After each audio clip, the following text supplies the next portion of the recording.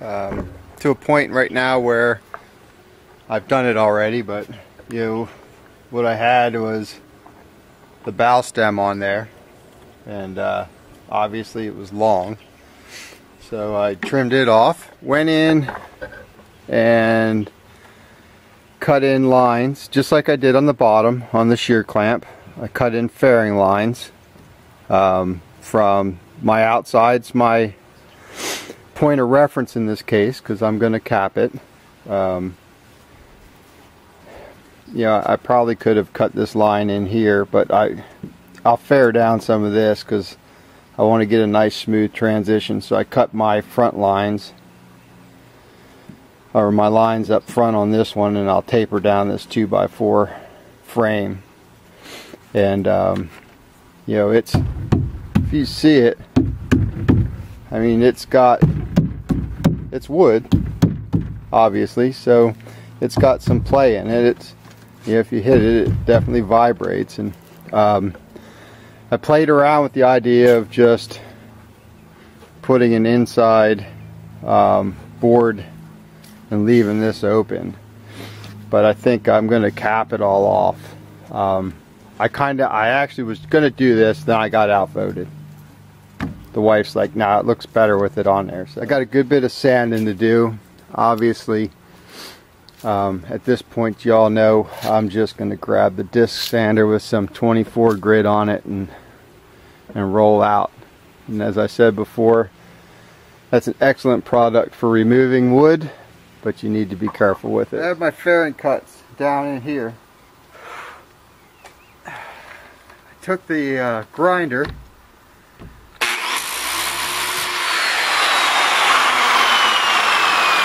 sanded out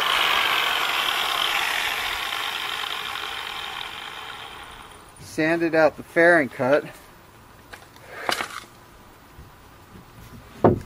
I'll take a board, lay it on there from the other side to here. Looks pretty good. I did the same here. And I know I'm at about 3 eighths just by looking at it. So I could take my pencil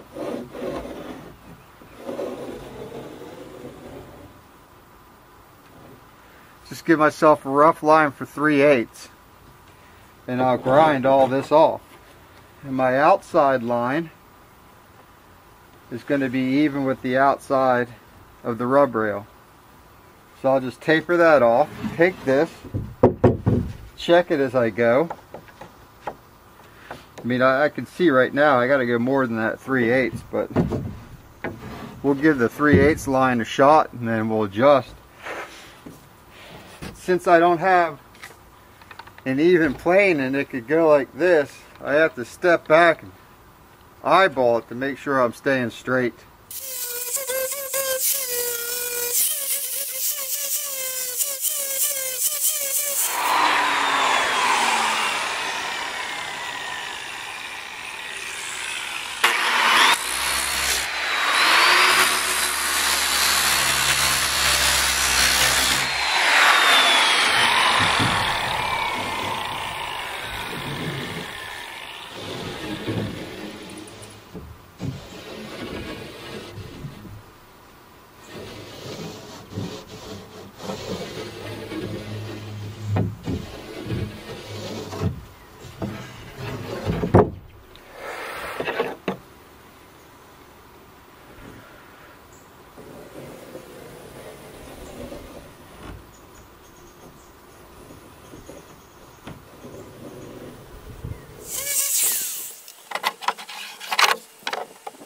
this point, I've got it close enough that I can finish up all the rest of the bays in between each bay, sand these down, and then uh, bring out the belt sander and then make good clean runs down the whole thing, get nice, straight, faired out well. Moving right along, kind of going from bay to bay to bay.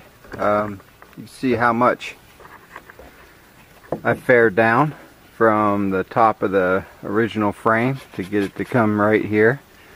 Uh, good thing is it's even on the other side. We like that. Um, on the back side here, it's a transom. Quarter, 5 eighths, approximately. Just looking, not measuring. So, clamp this board to it. Draw a line all the way across there. We're going to grind that down. I'll, I'll clamp it back here. Same thing over here. I like it when I fair stuff out and the reveal's the same. That's always a good sign. Draw my line across, fair it down flat. You see here, same with that. I cut the, uh, I ground the other side off. I'm, I'm going to cut these off. I'm afraid to cut them with my good saw because there might be a screw in there. So I might end up grinding them. You can see my fair line and where I've sanded here and I on cue have my uh, butterflies flying around and I'm just going to keep working my way up.